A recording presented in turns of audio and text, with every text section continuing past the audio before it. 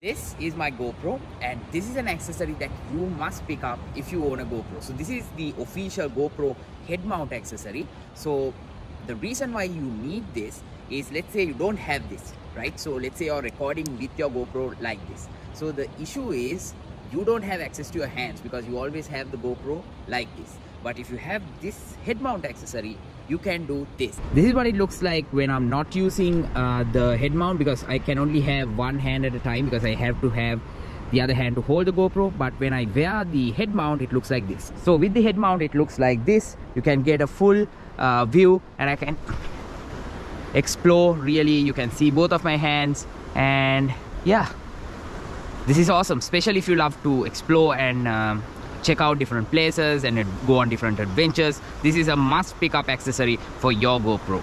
Subscribe right now to my channel if you want to see more awesome tech tips just like this